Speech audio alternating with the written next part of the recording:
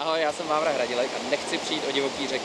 Není to lehký téma, ale jsou to snadné počty. V Bosně je 112 řek a na nich se plánuje postavit 300 přehrad, které je docela zničí. A co můžeš udělat? Přidej se k Vávrovi a k Arnice a nedej balkánský řeky ani ty.